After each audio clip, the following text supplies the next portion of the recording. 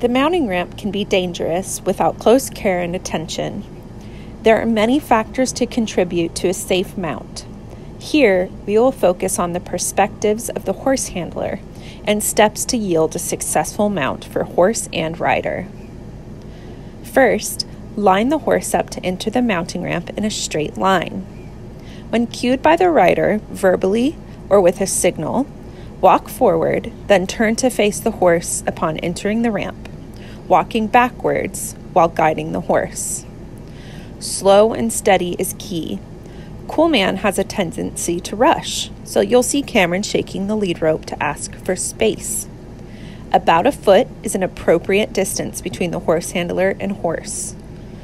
Guide your right hand over the ramp to encourage proximity to the left side of the ramp where the rider mounts. Maintain an appropriate hold on the lead rope do not choke up on the lead rope or drag on the horse's face, but give appropriate spacing. Once the horse has reached the end of the mounting ramp, ask them to whoa. The horse should stand quietly, leaving the horse handler their space bubble.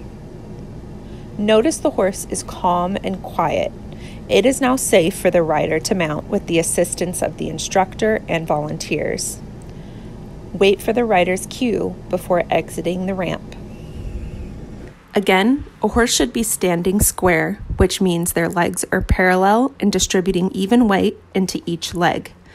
The horse should stand quietly and focus on the handler in preparation for a mount. The handler is responsible for redirecting focus if the horse becomes distracted. When the horse is focused, only then should the rider mount. The horse handler then waits for direction from the instructor as of when to exit the ramp.